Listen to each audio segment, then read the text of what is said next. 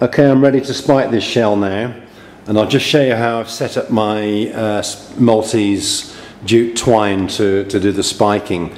There's a lot of different ways you can do this.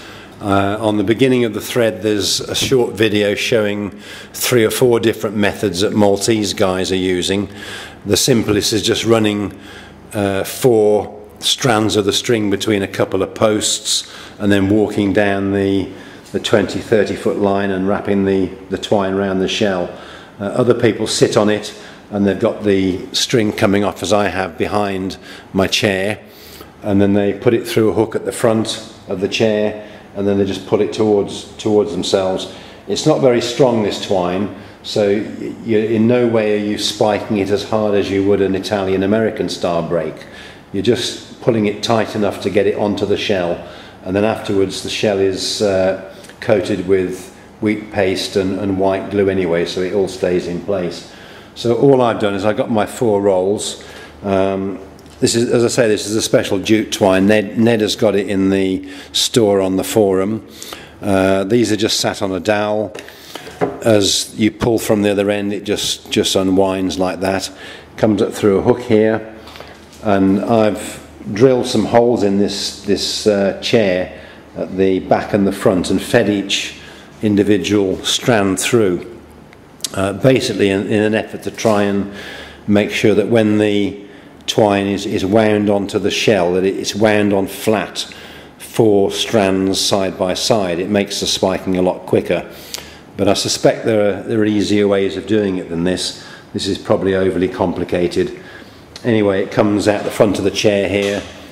It goes across here uh, wraps around four hooks, still trying to keep the strands apart. I've got a aluminium plate sitting on it to give just enough tension that it's not slack. And then it comes out at the front here through uh, these four nails just to keep them separate again.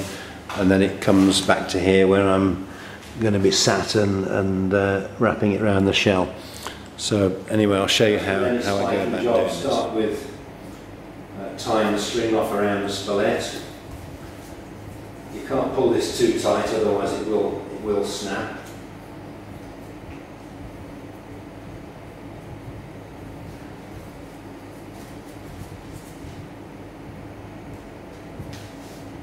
Just push it down up against the disc.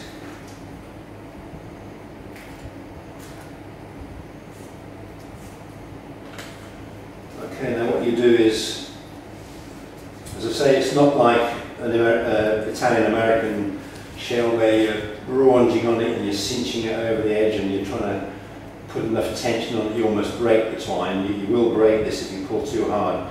The, the, idea is just to get it on reasonably tight um, and the, the glue and everything later will do the rest. Now what you do is you come down and then across the centre, up the other side, and then bring it across here.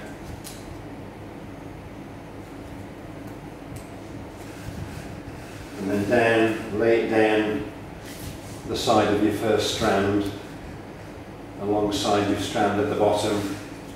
Same thing back at the top. Again, you're not trying to get this on real tight.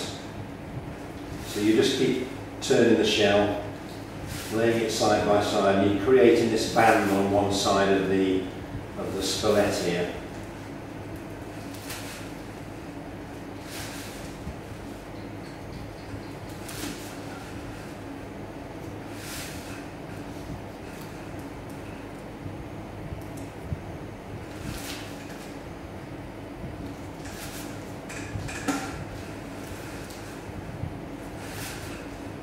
I live in fear of this, string breaking. It's a bit of a pain to stop midway through and join one of the strands together.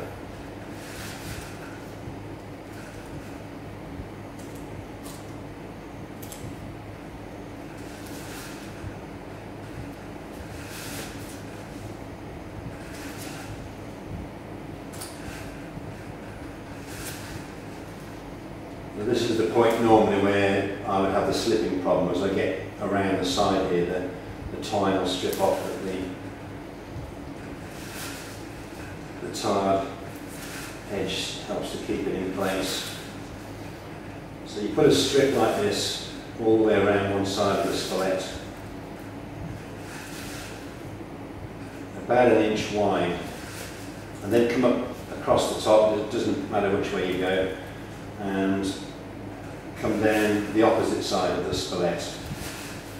Now you're putting a band across the other side here.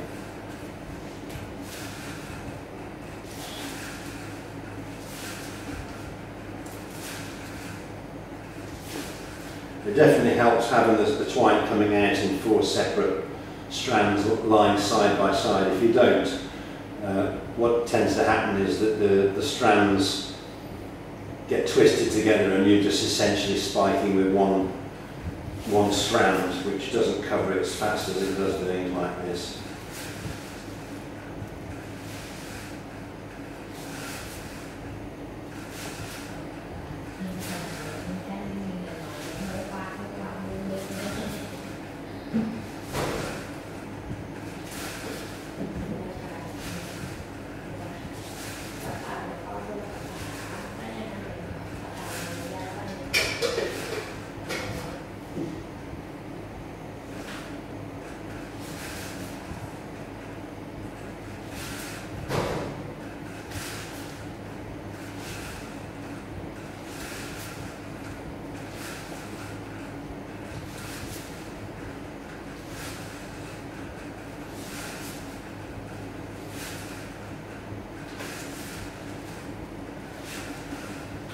Okay, I've got vertical band now on the left hand of the spolette and the right. They're both about an inch wide. At this point, uh, go around the spolette again and now do the same thing on the axis 90 degrees to what you've just done, starting in the middle again, through the centre here, back up, um, on the right hand side of the spolette this time you can go on the left, I don't think it makes any difference.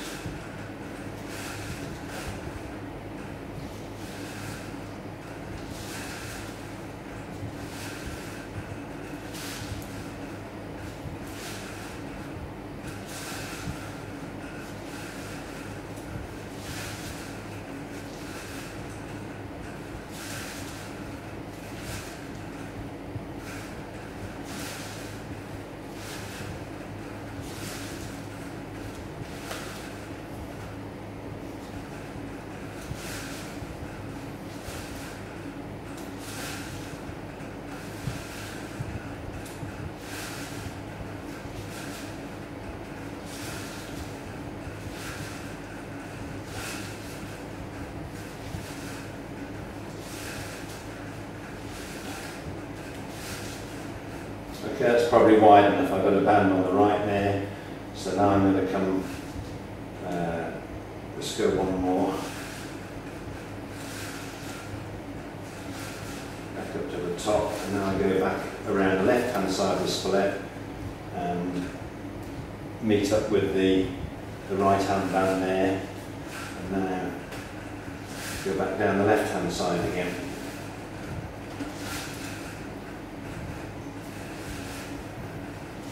During the Pyro holiday, Tom Dimmock uh, came up with a nifty little template for doing this. Uh, I've got to say his Maltese spiking, though he'd never done it before, was far neater than mine. And uh, he's got some kind of tensioner device which I think he's trying out at the moment, which uh, has the four strands running through some sort of uh, plastic block with tensioner springs on it. Uh, I'm looking forward to seeing how that works out and maybe makes the job a bit easier.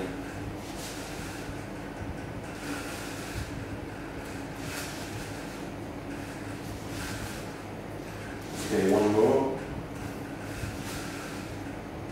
Okay, so now, now I'm half done. I've got uh, that band there, the band across there, same on the top and the side. Now I need to fill in two more bands to fill up the whole, the whole space.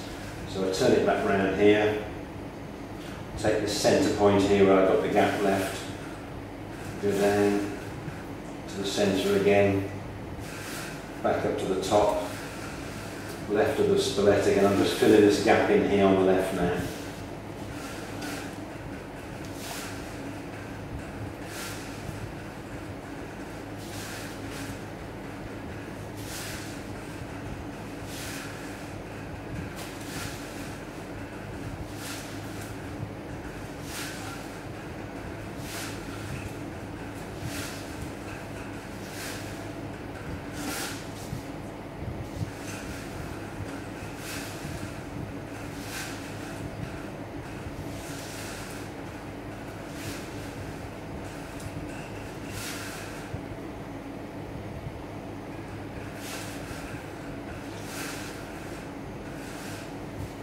some reason I've, I've gone wrong here. Let me just unwind that a little.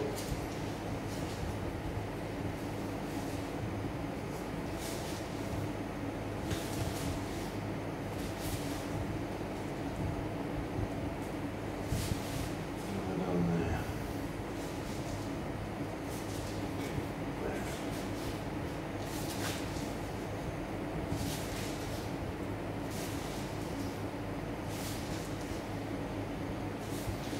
Okay. Now I go across to the other side. Once more at the top, kind of fill that up. Now I go across to the right to fill the gap on the right hand side here and the, and the gap on the bottom here.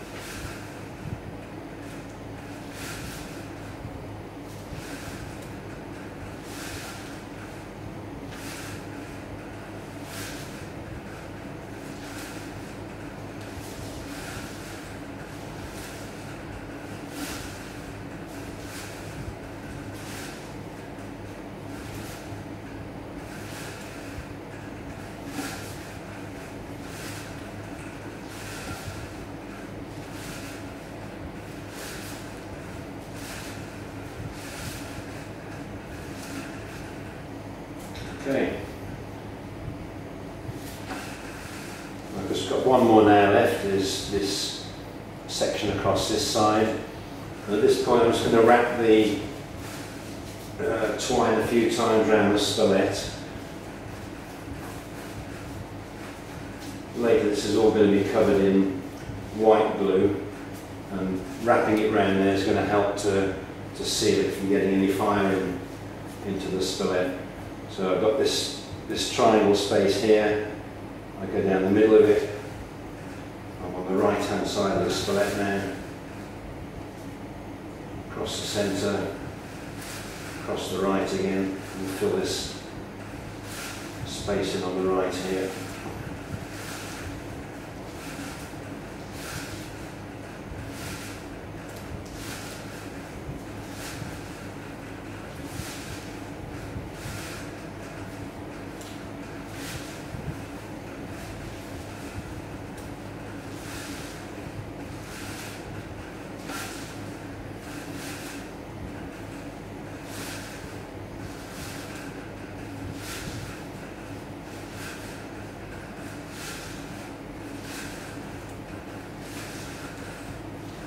I never measured how much string this uses, but quite a bit, I guess. Certainly a lot more than the Italian American way of spiking something. Okay, now on the last last section now, back to the left hand side of the spolette. Just filling up this last space here.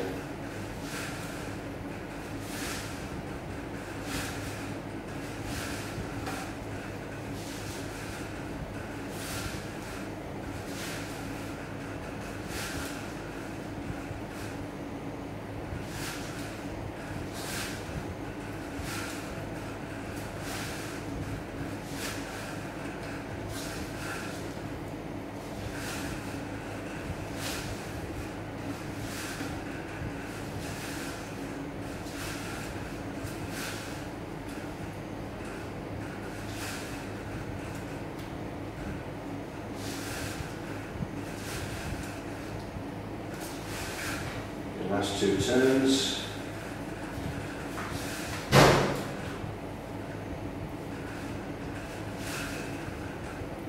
Okay, I think you can see now there's the six bands now across the bottom. The whole of the bottom is covered, the whole of the side of the shell is covered and on the top there's just six little triangular sections which apparently, so I'm told, are normal no matter how you uh, spike it, you, that's, that ends up with these little triangular bits at the top. And now you wind it down the bottom as you would an Italian American style shell. Take it right down to the bottom edge.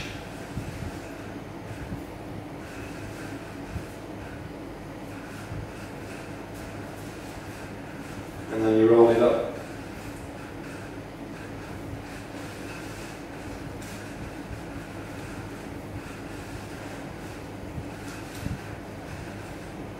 I actually have a, a shell roller over there which uh, I've not tried this out yet but I, I think in the future what I'll do is I'll do the vertical spiking then I'll put the shell on the roller and just turn the roller and guide the twine onto it. I've got a feeling it's probably quite a lot faster doing it like that. There's a Maltese video somewhere of some guy, he's got a little shell roller resting on his lap and he's just turning the shell and the, the string is going on nice and nice and fast. This is uh, a little bit on the slow side. And you need to kind of guide the, the uh, string onto the shell so it butts up to the last turn that you've done.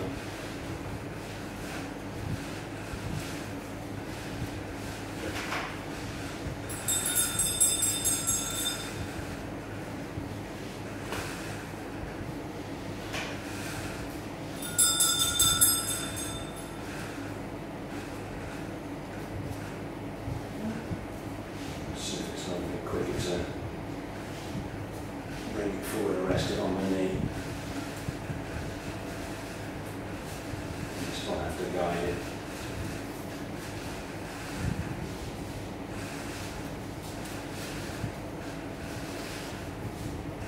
It's a bit easier.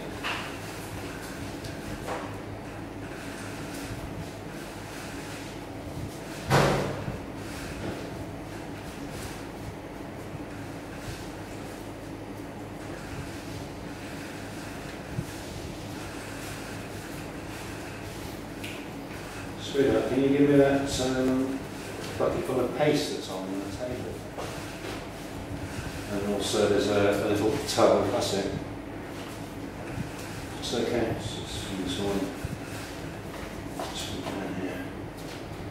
And there's a, there's a tub on there of some white glue with a brush in it. A small tub of white glue.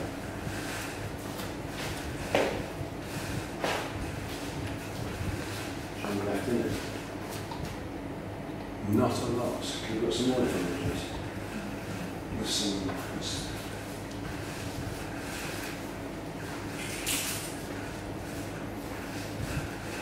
That's not really good glue, that actually. It's kind of uh, rubbery. You order this. Hmm? You order. I think Home Pro's got some big gallon uh, gallon jars. Your full finish. Hmm? your fourth food finish Operative. Operative, where material. Ah, this one you want to try? No, no, no, so that's latex glue. This one I think. Um, no, there's, there's at least one left somewhere. One for one, isn't it?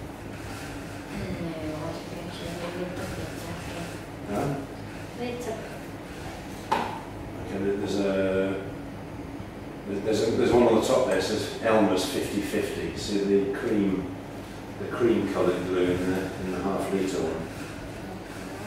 It's better glue anyway.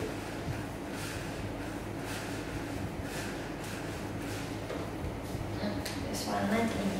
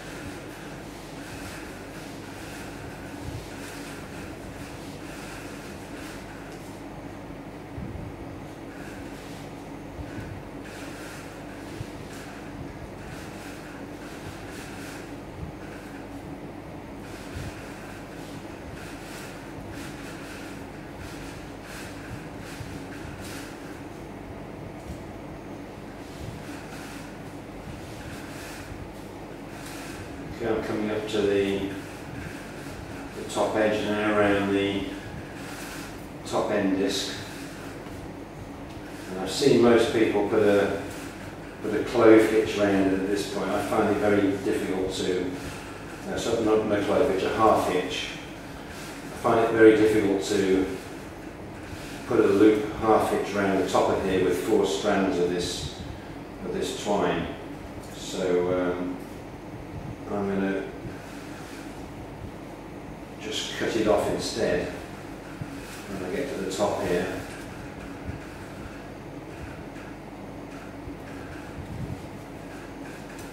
And then hook it under one of the side pieces.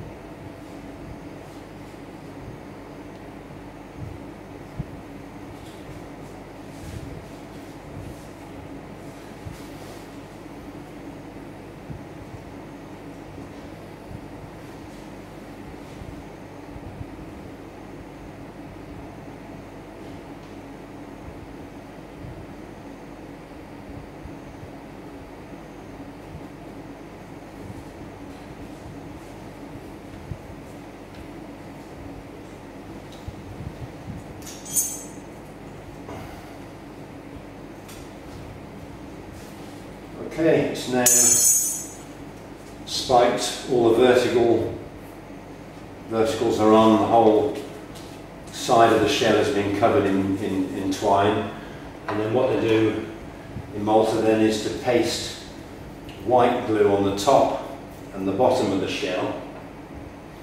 And I put a good dob of it around the, the spolette as well. So the whole top surface of the shell just the edges of the sides here.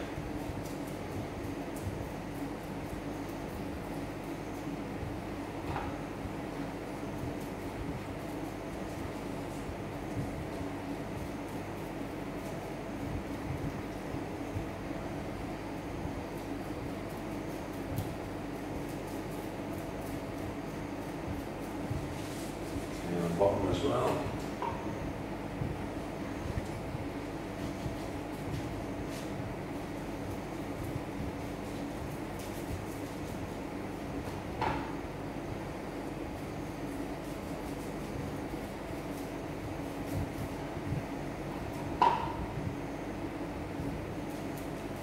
It's supposed to be a 50 50 50 mix of white glue and water. This is actually a bit thicker than that.